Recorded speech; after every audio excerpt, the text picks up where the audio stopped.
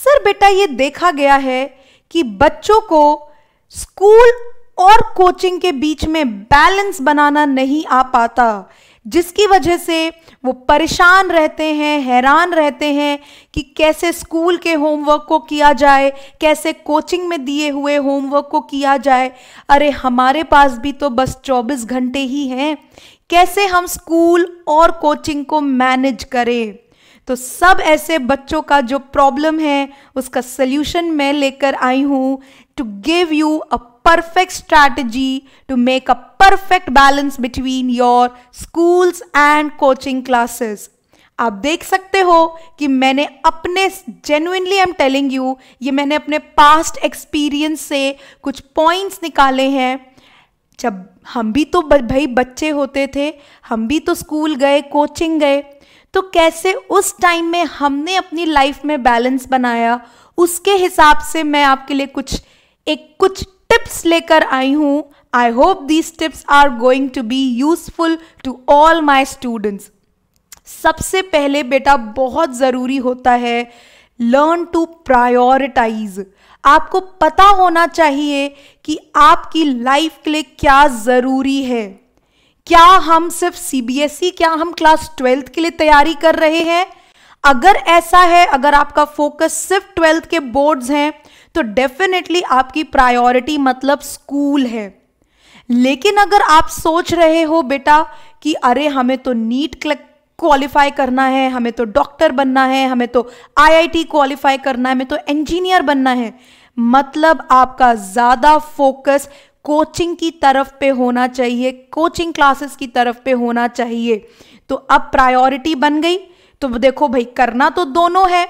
School भी जाना है कोचिंग भी जाना है। लेकिन प्रायोरिटी सेट हो गई कि अच्छा नंबर वन पे हमें कोचिंग क्लासेस को रखना है, जहाँ पर हमें हमारे फ्यूचर डॉक्टर या नीट बनने के सपने को पूरा करने में मदद मिलेगी। तो सबसे पहले ज़रूरी है कि प्रायोरिटाइज करो बेटा। प्रायोरिटी जब बन जाती है, तब आता है study pattern should be correct देखो बच्चों, जब आप कोचिंग क्लासेस में जाते हो तो ऑब्वियसली आप नीट या आईआईटी की तैयारी कर रहे हो। नीट आईआईटी की तैयारी करते करते ऑटोमेटिकली आपको पता भी नहीं चलता और आप क्लास ट्वेल्थ बोर्ड्स की भी तैयारी कर चुके होते हो। क्योंकि बेटा बोर्ड्स का सिलेबस इतना है, नीट का सिलेबस इतना है। आईआईटी का सिलेबस इतना है, जिसमें आपने ऑलरेडी बोर्ड्स अपने स्कूल को कवर अप कर लिया है। तो एक आपको बेटा प्रॉपर पैटर्न ऑफ़ स्टडी बनाना पड़ेगा, जिससे आपको ये चीज़ समझ में आए कि हम क्या नीट के साथ साथ अपने ट्वेल्थ की भी तैयारी कर रहे हैं। अगर आज किसी सब्जेक्ट मान लो अगर मैं बॉटनी की बात करूँ तो भाई अगर बॉटनी में मैम या सर ने एनाटमी चैप्टर पढ़ा दिया क्लास इलेवेंथ का तो क्या हमने अपनी कोचिंग क्लास में, क्या हमने अपने स्कूल का भी कवर अप कर लिया? तो देखो, एक ही जगह पर बैठे थे, लेकिन पढ़ाई दोनों तरफ़ की हो गई। है ना? है कि नहीं? यस और no moving towards revise smartly and regularly बेटा, ये जो समस्या है ना बैलेंस बनाने की, ये उन बच्चों की ज़्यादा है जो रेगुलर बेटा पढ़ाई नहीं करते। रेगुलर पढ़ाई करना बहुत ज़रूरी है। ऐसे मत सोचो कि आज तो दिवाली हो गई, आज तो होली हो गई, आज तो दशहरा हो गया। अरे, आज संडे है, अरे, आज मामा घर आ रहे हैं, चाचा के घर जाना है। नहीं। ये जो सारी एक्सक्यूजेज हैं keep them aside regular study करना है। बेटा, ज़िंदगी के दो साल इलेवेंथ ट्वेल्थ बहुत क्रूशियल होते हैं। इन दो सालों में सारी रिश्तेदारी, नातेदारी सब बेटा भूल जाओ।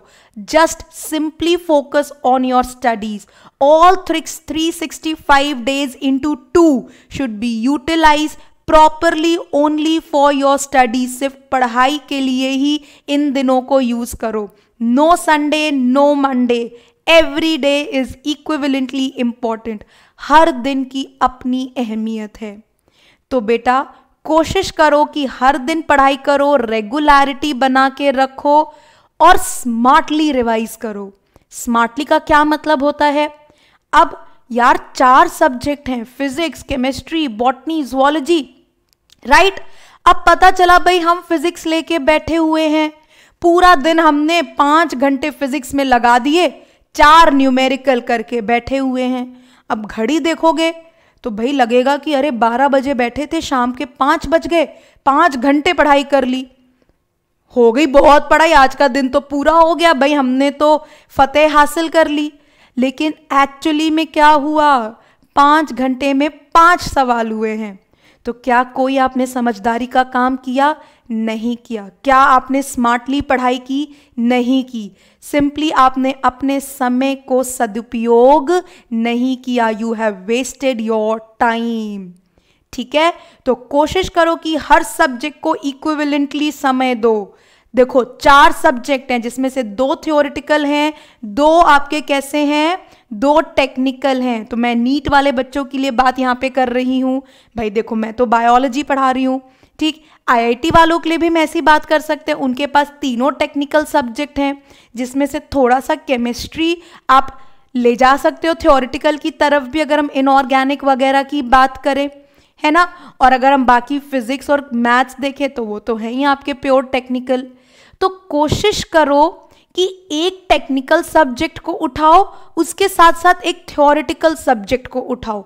कॉम्बिनेशन कुछ ऐसा बनाओ कि आपका थ्योरी और कंसेप्चुअल दोनों चीज़ हैंड इन हैंड चल रही है। ऐसा मत करो कि भाई पूरे दिन कंसेप्ट पे बैठे हुए हैं, समय लग गया, समय चला गया, ना कंसेप्ट समझ में आया, ना पढ़ाई हुई।